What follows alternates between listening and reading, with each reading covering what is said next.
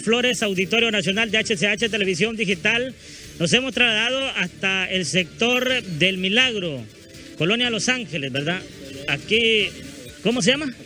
Los apadrinados. Miren, hoy se registró un hecho lamentable en horas de la mediodía tarde. Un niño de 10 años fue atropellado, eh, lamentablemente ha muerto y está siendo velado acá, pero aquí sucede algo injusto. Eh, resulta que el padre fue allá y ahora le están diciendo que el niño pague perjuicios al conductor de la rastra. Señor, buenas noches.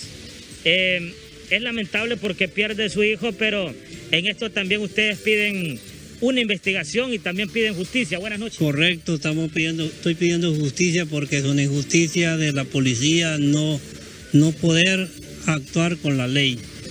Segundo, segundo que le voy a decir es que él hubiera actuado como una persona inteligente. Hubiera agarrado a mi niño, estaba boqueando, lo hubiera agarrado de esa raza, corre, ¿verdad? La hubiera llevado a una clínica, perfectamente uno hubiera quedado agradecido.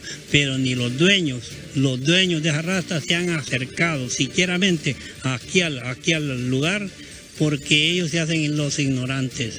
La policía llegué a, a Pimienta y me tomó una declaración, pero en la acera de la, de la posta policial.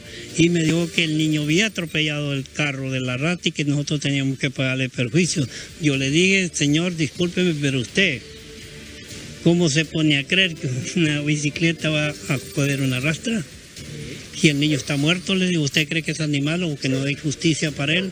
Entonces yo estoy pidiendo que investiguen la policía que investiguen a la policía y que investiguen al señor que atropelló al niño y que pague con la ley, que pague como lo es debido, porque no, no lo conocí, pero señor, este, el niño quedó vivo en el lugar, ¿verdad? Estaba Estaba en agonía de muerte y yo lo auxilié, pero no pude hacer nada. Tengo testigos porque yo me lo llevé chineado en medio del público y me lo llevé en una moto, me ayudó a llevarlo a la clínica. O sea, la persona que lo atropelló se dio la fuga. Se dio la fuga y se fue a presentar la posta.